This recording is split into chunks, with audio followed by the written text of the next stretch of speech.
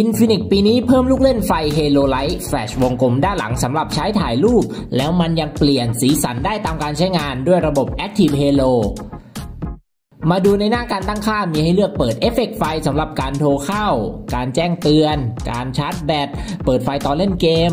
แล้วก็เปิดเพลง เปิดเครื่อง ใช้ Voice Assistant สามารถเลือกสีสันที่แสดงผลได้ด้วย เอาสีอะไรโทนไหนกด preview ออกมาดู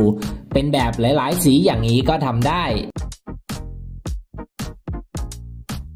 แล้วก็ยังเลือกรูปแบบการขยับของแสงสีได้ว่า เอาเป็นแบบ lively ขยับไปมา